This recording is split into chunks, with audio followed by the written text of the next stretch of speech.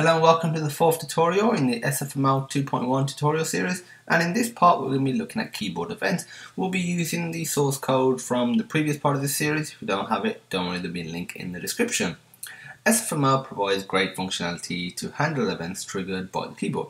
We will be looking at detecting uh, the following when a key has been pressed, when a key has been released, when a particular key had been pressed, for example, the letter A, when a particular key had been released, again, maybe the letter A. And to do this, really simple. First of all, we're going to look at the pressed events. You add a new case in this switch event.type statement, and for this, we're going to do sf event key pressed colon and now in here, I'm going to do stdc, actually one second, I need to include the IO stream. We're just going to include it so we can print out some information if certain keys are pressed. Obviously you may want to do something else. So we're going to do stdc out key has been pressed. Let's just std and line break Let's run this now. And when I click a key, it says key has been pressed, but that's just detecting when any key has been pressed. So to detect a particular key, we're going to do another switch statement within this case. We're going to do switch, and what we're going to switch on this time is event dot key dot code. And now what we're going to do is case and we're going to detect the letter A.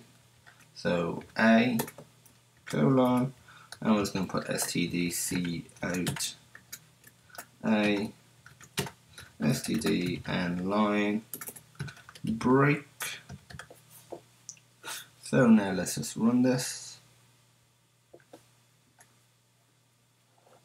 Okay so if I'm going to click the letter Y it says let's move this over a little bit. It says key has been pressed U B, but now I'm going to click A. It says key has been pressed plus you printed out A because it's able to detect that the A key was pressed.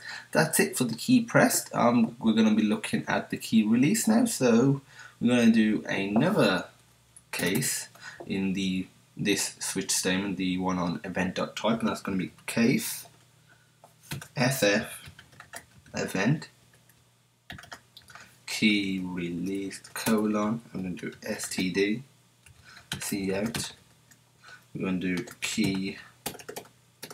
Key has been re released. TD and line. And I'm just going to do a simple break. Now we're ready to run this again. Let's move this over. So if I click the T button then release it, it says key has been released. Click the I key has been released. Now let's actually detect when a particular key has been released. So let's do switch. I think you can sort of guess what it's going to be. It's going to be event.key.code. And in here, same as this, we're just going to do case SF keyboard and I'm going to detect when the letter J has been released. Obviously, there's other ones on there like spacebar, the back button, etc. But we're just gonna deal with letters for now. Break and in here we're gonna do std c out j released std and line. Now let's just run this. I'll click. I'm gonna click the letter U. Key has been pressed and key is released click the letter K, key has been pressed, key has been released, click the letter J, key has been pressed, key has been released, and J has been released because we clicked the letter J and it picked up what letter we would uh, try and what letter we did actually release. That is it for this tutorial on key events. In the next part of this series, we're going to be looking at mouse events. If you have any questions, feel free to message us at support at sonarsystems.co.uk. The email will be in the description. You can comment on this video or just directly message us via YouTube. All the required links for source code will also be in the description.